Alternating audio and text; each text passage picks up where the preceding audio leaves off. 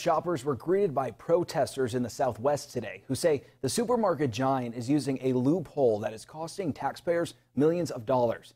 A union that represents millions of workers across the nation says Walmart is shifting the cost of employee health care onto the taxpayers. They claim Walmart is doing this by lowering wages and hours to the point where their employees then qualify for, Medi- for Medi-Cal under the Affordable Health Care Act. Now, this loophole is not illegal, but the group claims it's unfair. Walmart is the nation's largest employer. Last year, they took in 444 billion in revenue. The CEO, Michael Duke, made 21 million. Walmart can afford to insure its workers. The taxpayers should not have that burden.